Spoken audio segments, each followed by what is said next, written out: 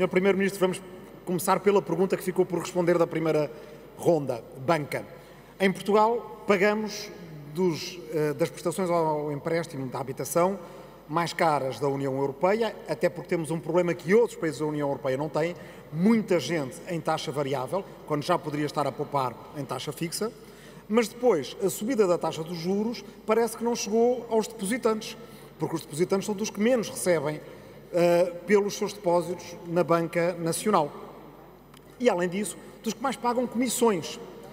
A pergunta que lhe queria fazer vai dividida em duas partes. Uma para o Governo, outra para o acionista-Estado da Caixa Geral de Depósitos.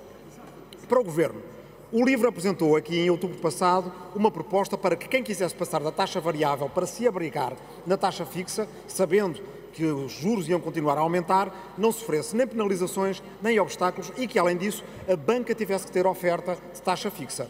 Primeiro o PS viabilizou, depois o PS chumbou, um dia depois o Governo disse que ia apresentar a mesma medida. Tudo bem, não há problema. Mas agora a pergunta é com que critérios se vão obrigar a banca a ter uma oferta de serviço universal com taxa fixa, porque entretanto há bancos que deixaram de ter taxa fixa. Mas depois olhamos para os juros nos depósitos, olhamos para as comissões bancárias e das duas uma, ou achamos que está tudo bem no melhor dos mundos possíveis, como nos diriam ali os nossos vizinhos do outro lado do hemiciclo, ou então pensamos onde é que está o banco público, onde é que está a Caixa Geral de Depósitos. Porque é que quem tem um pai, uma mãe, pensionista, uma avó com conta na Caixa Geral de Depósitos tem que explicar, olhar para as cartas que chegam todos os meses e explicar porque é que sai dinheiro naquelas comissões, porque é que os limites para isenção de comissões são tão baixos e quem tenha um pé de meio um bocadinho maior tem que estar a pagar por levantamentos em dinheiro mensais, mesmo que não queira utilizar cartões.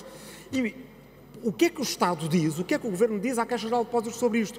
No momento em que a Caixa Geral de Depósitos diz que está saudável e, portanto, tem folga para tomar uma decisão estratégica que até lhes vai uh, garantir muitos novos clientes.